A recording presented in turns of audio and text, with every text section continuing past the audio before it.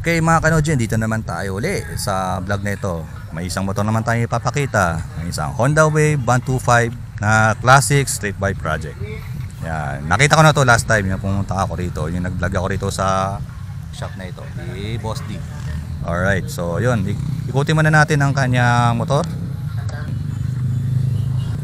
All goods. Hmm.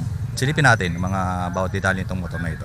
Okay, so dito sa dito sa ibabaw na tayo. Yan.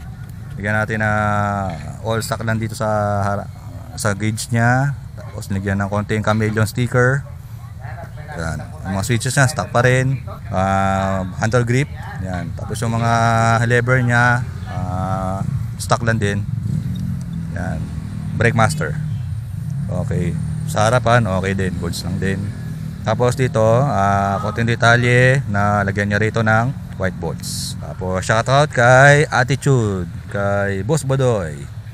Tsaka dito kay Kabugok, si Bo ano, si Boss Bin FPB. Shoutout. Yan, okay. Nga pala, shoutout din kay Racewear. Yan, okay. Nakabako tayo dito sa braking system. Yan. Ang sa rim niya, ang ginamit niya rito ay Yoko Excellent rim. Na ewan ko, di pa naman kilala to. Tapos, ah, yun, ginamitan niya ng ano, mga chrome spokes.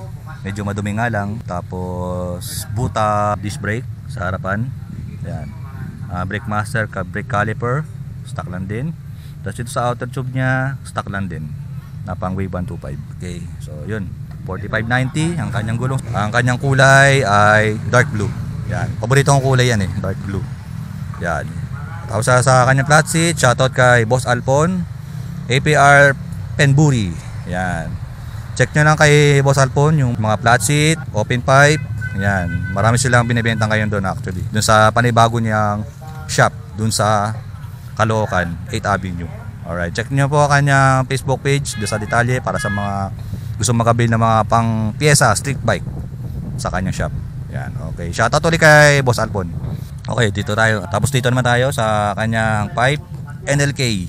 Yan, NLK na open pipe. Tapos dito, yung sa swing arm niya, all stock lang din. Parang customized na ano to, na dinoktong na swing arm. Yan, pero all goods naman. Okay naman yung paglalagay. Ano, tong swing arm. Okay, dito naman tayo sa light and brake panel. Yan, stock siya pero uh, nilighten. Yan, okay. Tapos dito sa likod, ganun din. ah trim. Ah, yung same dun sa harapan. Ang gulong niya sa likod, 50 by 100 na 17 na kanyang gulong. Yan. Tapos yung mga mga step-an niya, pro taper. Yan, okay. Okay, dito sa likod, medyo linaitan yung kanya rear fender. Ito lang naman mga kanodji, simple lang naman ang setup nitong ano na to. Itong Honda Wave 125 na classic street bike project. Pero ano lang to, din man siya madiin, saktuhan lang pang daily. Ah, kahit chapsoy, yan. Okay lang yan. Ka lang mahiya sa mga nasa paligid mo. Ayan. Okay mga kanoji, so check nyo lang po ang kanyang ano, detalye sa kanyang video para makita kayo ng idea para sa mga gustong bumuo itong motor na Honda Wave 125 na classic street bike project. Alright. Okay, ride safe.